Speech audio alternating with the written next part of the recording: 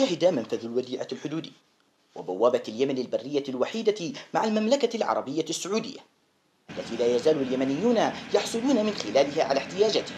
شهد حملة نظافة نفذتها إدارة جمرك المنفذ تهدف إلى تخليص كافة ساحته وأرجائه من تراكم الأوساخ والقمامة وتحسين الأوضاع الصحية والبيئية فيه وفقا لتلك التوجيهات الأخيرة التي أصدرها محافظ حضرموت تم هذا اليوم تدشين حملة حملة نظافة لمنفذ الوديعة وفق رؤية محافظ المحافظة الذي زارنا في الأيام المنصرمة وأوصى بأن تكون هناك يوما خاصا بالنظافة وقد تم في يومنا هذا بمشاركة جميع من في المنفذ عسكريين ومدنيين وأمنيين ومواطنين.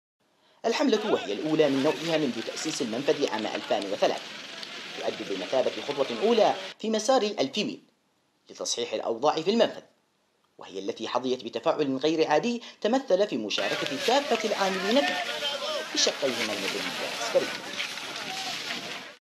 سوري من درعا. شاركنا في تنظيف المنفذ اليمن السعيدة حدود منفذ السعودية الوديعة. ونحن السائقين هنا شاركنا في تنظيف المنفذ. وأمام هذا المشهد التطوعي التشاركي لم يجد الكثيرون حتى من بين أولئك الذين لا يمثل لهم المنفذ سوى بوابة عبور.